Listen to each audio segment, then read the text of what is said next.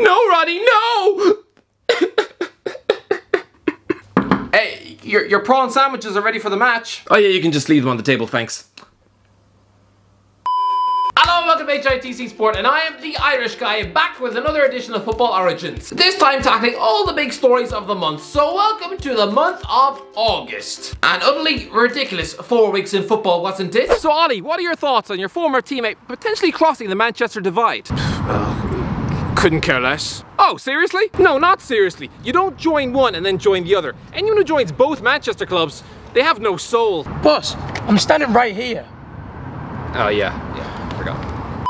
For days, it looked like Ronaldo was set to quit Juventus for Man City. It's fair to say it caused the fans some sleepless nights. So I'm here with a bunch of Manchester United fans. Now tell me, Will there be any hard feelings if Cristiano Ronaldo does cross the Manchester divide? Yeah, of course there is. Any Manchester United player goes to sign for Man City is absolute scum. Yeah, they're an absolute traitor. I agree.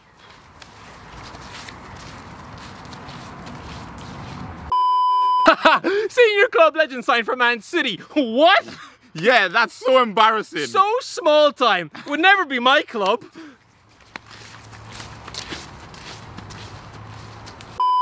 As for the Man City fans, this is surely a dream come true. So I'm just here outside the Etihad with a group of Manchester City fans. So tell me, do you have any messages for the incoming Cristiano Ronaldo? Yes, Ronnie, I can't wait for you to come to the Etihad. I can't wait to sniff your hair. I've always said you're the greatest player of all time. Wait, didn't you used to call him a cheating diving flamingo and said he had the end product of a tortoise? No, I never what?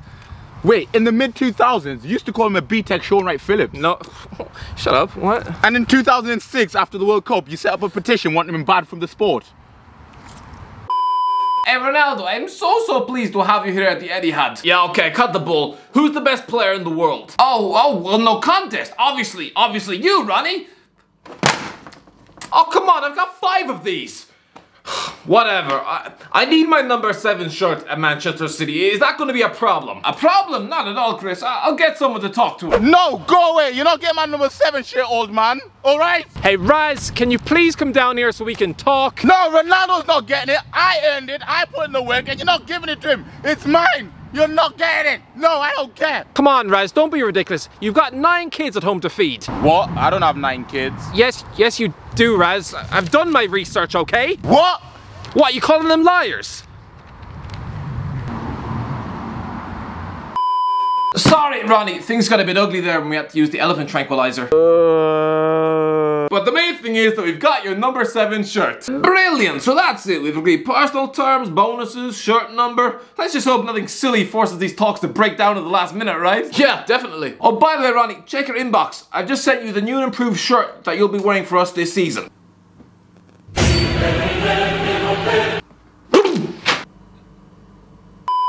Yes! Yes! I can't believe we're signing Ronaldo! Oh no mate, if you're not heard, we're not signing Ronaldo, he's going to Old Trafford instead. Oh no, are you serious? What am I supposed to do with this? Mate, how do you think I feel? Ah, oh, yeah, good, good, good point. Manchester United finally got their man after tying up a bargain £42 million deal for World Cup winning Galactico centre half Rafael Varane. It Fair to say there were one or two snags holding up the deal. Hi Varane, we're so happy to have you here at Manchester United. Who's my partner at centre back? I'm used to the best. Oh, well um, have you heard of a certain Harry Maguire? No? Where did he used to play? He, he um, he used to play at Hull City. Oh, is he the one whose head looks like a TV? Yeah, but listen, don't worry Varane, okay? We'll make you one of the highest paid players at the club do you have any other requests to put in the contract? I'd love a big mansion. Absolutely. And a new Rolls Royce. Of course. And I want the shirt number four. Oh, um, let me let me let me see what I can do. I Phil. Phil Jones brought you some rat heads. Phil.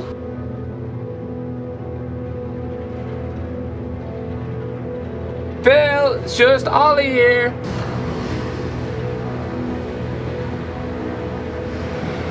Phil? What do you want? Hi, Phil. Yeah, just the thing is, we, we just signed Rafa Varane. We were wondering, would it would it be possible to to take your number four shirt?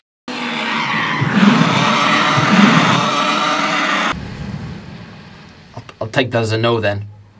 Uh, sorry, Varane, can't do that. You could have number 19 instead. What? Every Every year, supporters look forward to the Champions League group stage draw with bated breath as they get ready to plan their autumn European trips. And after an 18 month pandemic, it's fair to say excitement was through the roof. We got Zenit St. Petersburg. I'll get the Russian hats. We got PSG. I'll get the berets. We've got young boys. I'll get the van. Well, let's try to hit 600,000 subscribers as soon as possible. If you're new here and you want to see more content like this, then slap that red button in the teeth. But also, while you're here, voting closes tomorrow for the Football Content Awards. Somehow I've been nominated in Best in Video Small Business. So if you haven't voted yet and you want to see me pull off an underdog story at Football Daily's expense, then slap that vote button in the teeth too. Link in description. Anyway, back into the video. The football world was rocked by the bombshell that Barcelona were forced to get rid of Lionel Messi, and his agent subsequently touted him around Europe's top suitors. I'm guessing negotiations were quick. Listen, Leo, we would love to have you here, honestly, but just one problem. Um, we won't be able to give you your, your number 10 shirt. What? Well, I'm sure you can understand. We've given it to Jack Grealish, who, according to the British press, is the greatest footballer to ever touch a ball. Hello Leo, I'm Phil. As you can see here, we've got a pretty professional setup here at Inter Miami. Yeah, great to meet you, Phil. Have you got a good managerial CV? Well, I don't want to toot my own horn too much, but um, I've actually managed England at a World Cup semi-final, so um, I've learned quite a few things. You're not pregnant, are you? No? Sorry, force of habit. Now Leo, we can't afford to give you a weekly wage as such, but we're prepared to offer you a zero hours contract with a voucher for a free Subway on Fridays. Actually Leo, just received an email from Susan from accounts. We're actually gonna need to, to have that voucher back.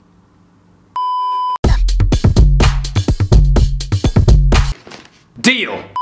Although, let's be honest, Messi was always going to ring his former teammates for a bit of career advice. Hey, Angel, tell me, you've lived there before. What's it actually like in Manchester? Don't do it! Don't do it! Whatever you do, don't go to Manchester! Never go to Manchester! It's hell on earth! Hi, Gonzalo. I just met one of the weird Neville brothers. Tell me, what's the setup actually like at Inter Miami? Hi, Leo. It's great. They give you all the chicken wings you want. Hey, Gonzalo! Gonzalo, it's time for training. I'll be five minutes, man. Hey, Neymar, great news, mate. Can't wait to play with you again next season. Yeah, yeah, yeah, that's great. One second, I'm just in the middle of something. Can I call you back in a sec?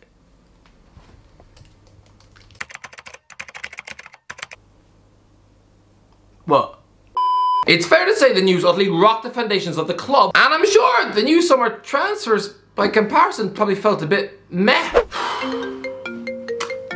Hello? Hi, Kun! Yeah, it's the club here. Just just making sure you're, you're settling in alright.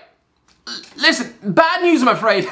You'll never believe it. We uh, we don't actually have the, the funds to register you as a player for the season.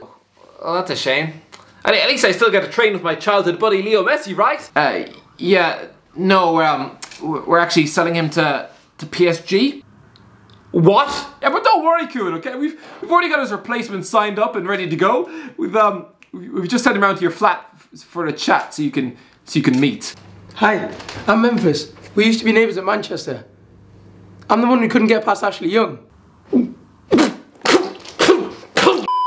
Milan fans were rocked by the news that their club decided to cash in on Romelu Lukaku to Chelsea. The, the fans in Italy weren't best pleased. I can't believe we sold Lukaku. He was our everything. But when we signed him, you said he had the first touch of a dead donkey. Hey, less of that. Don't worry though, mate. We are international. We always replace great with great. I mean, remember when we sold Zlatan Ibrahimovic to Barcelona? Yeah. Yeah, and who did we sign instead and win the treble? Samuel Eto'o. Exactly, show some faith in the Inter board. I'm sure we'll make an exciting, world-class statement of intent.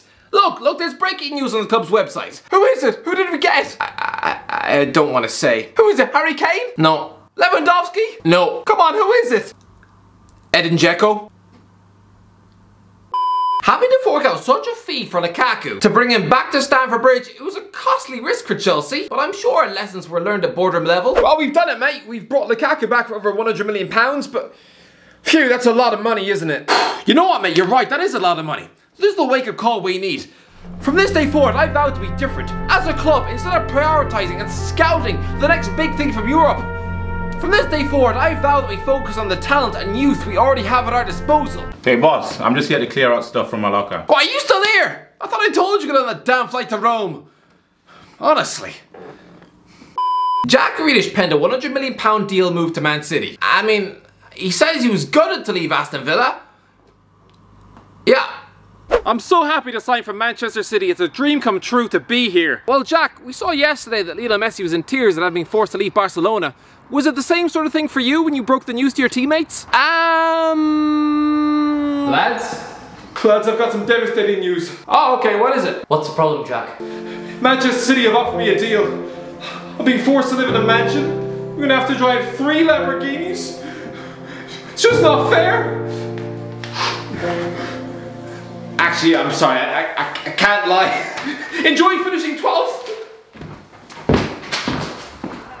Uh, yeah, I was, I was devastated. Real Madrid are a club who marketed the Super League as the answer to everyone's financial prayers, giving off a vibe that they too were also broke. Yeah, Florentino Perez's words were very quickly exposed. So Florentino, any regrets on your Super League pitch? No, not at all. We don't even have enough money for toilet water. Our lunch lady is having to defecate in the lunchbox. We can't even afford a lawnmower for the training pitch. We need the Super League. Isn't that a Rolex? Alright then. Let's make a bid for Mbappe. PSG director Leonardo reacted to the opening bid by trying to tap into Mbappe's sense of morality regarding the looming expiration in his contract. I want to leave for Real Madrid. Now, Killy, we know. We know you want to leave for Spain, but you promised us last year that you would not leave us on a free transfer next summer. I know what I said. I know what I said. Any footballer who leaves their club at the end of a contract is not a sign of a man. I know, I know, I know. They are selfish, a selfish, greedy, and poisonous coward. They are a stain on our game as we chase back into the sewers like the rat that they are. Sorry to interrupt, Leonardo, but where do you want your framed painting of your marquee superstar free signings? Oh, lad, you, you literally couldn't have picked a worse time. Chelsea held an open day training session at Stamford Bridge, allowing fans and players to come together for the first time in 18 months. I'm sure everyone was on the same page. Alright guys, you coming to the Chelsea open training session they're putting on at Stamford Bridge this afternoon? Yeah mate, I'm bringing the kids, the whole family, got some thank you cards for the players, got some flowers for their wives. Oh, really? Yeah, it's a great way to give back and show our appreciation for our Champions League heroes. Oh, um, yeah, I, I, I, guess. Yeah, mate, it's been a really tough 18 months for everyone. I'm sure the players could, could do with us, you know, eh, showing our, our full support for them during the tough times. I, I, I suppose. But what about you, mate? What, what gesture of appreciation are you going to show the lads? Um...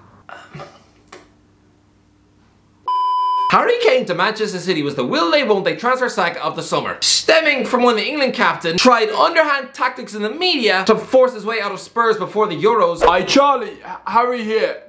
Get me on Oprah, mate. what? Sorry? Well, we've just seen Prince Harry do a tell-all exclusive on Oprah. Well, listen, I'm King Harry, and I need to do the same. Oh, why? You got any creepy uncles? What? No, no, no, mate. I just need it to be made known to the public that that I need to leave Spurs without actually handing in a transfer request. Yeah, a bit tricky. Probably won't be able to get you on Oprah, considering about 0.4% of the American population even know or, or, care who you are. Okay, what about Jeremy Paxman then? Yeah, he usually just covers politics and stuff. Or, or, or Michael Parkinson. Harry, I think he's retired. Graham Norton? No. Listen, I can probably get you an hour on a golf course with Gary Neville. But he constantly smells like a badger's foot. Okay, but remember H, whatever you do, Daniel Levy is a powerful negotiator. Whatever you do, don't do something silly like tell Neville what transfer fee you think you're worth. Don't worry, Charlie, I'm not that thick. Yeah, so Gary, I think I'm worth about 100 million pounds. Oh, sh Hey, Harry, there you are, mate. Tottenham have been looking all over for you. What book are you reading? Oh, hi, mate. No, just getting some transfer tips from one of the greatest strikers of all time. Oh, is it any good? Oh yeah, it's the best. One of the most highly anticipated debuts of the month was Arsenal's £50 million centre-back revelation Ben White, who travelled to Brentford on a Friday night. It's fair to say it might have left a few scars. Hey Ben, are you okay? Who was that out there? Was that Drogba in a Brentford shirt? Uh, no mate, that was Ivan Toney, you know, the former Scunthorpe striker. Why do we pay 50 million for someone who clearly can't jump? So Ben, this is your first therapy session. How's your first week being at Arsenal? Oh, Doc, it's horrible. I see him everywhere I look. Okay, what do you mean when you say you see him everywhere? What's that? Oh, I'm sorry, that's just my box of cereal.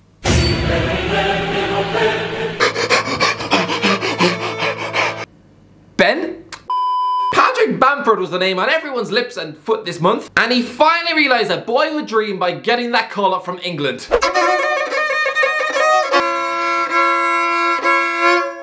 Patrick, have you heard the big news? What, let me guess, another Irish oaf that sings of cat piss has got me tattooed on his thigh now? Christ above. Nah, you've been called up for England, mate. Oh, I, I better get back to Mick McCarthy then. I've had that geezer on hold for years. Hi Mick, Paddy here. Sorry mate, I won't be able to play for Ireland after all of... Wouldn't you know it, I've been called up for England. Oh no, it's fine Patrick, I don't work for the FAI anymore. I'm living in Cardiff for the minute, just trying to integrate myself into the local culture. Alright, so which one of you wants to be my wife? Fantasy football grips the sport every August, with everyone, and I mean everyone, creating a team before the opening game of the season. But some people do have the tactical insight of a waterlogged shoe. Hello? Hello, are you busy? Just crying into my bowl of shreddies, but no, I can talk. All right. I'm entering fantasy football with the girls from the knitting club. I'm picking a team, but I just need some tactical advice. Oh, okay. Right. So, which one of the Longstaffs should I pick? What? No, no, that's like asking which one of the Jedward brothers you want to sing you to sleep. Neither of them. What? How do I how do I make sure my players aren't suffering from dehydration? They're not allowing me to pick a physio or a chef. What? No, they're, they're just pixels on a screen. This isn't the f***ing Sims. Right, I've picked drink water, just in case.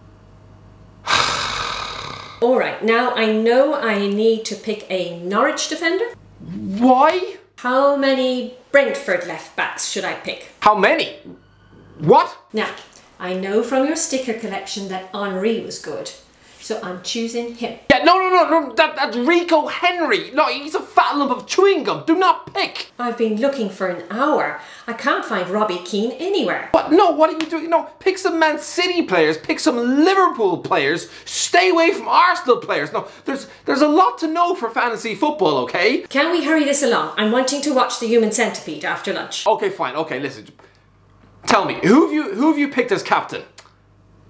What? What? I'm really expecting a big season from Gylfi Sigurdsson. Anyway, that's it, videos. Let me know in the comments below. What do you want to see this Football Origins return for every month? If you do, let me know in the comment section below. If you enjoyed the video, don't forget to like, subscribe, and as always, I'll talk to you in a while.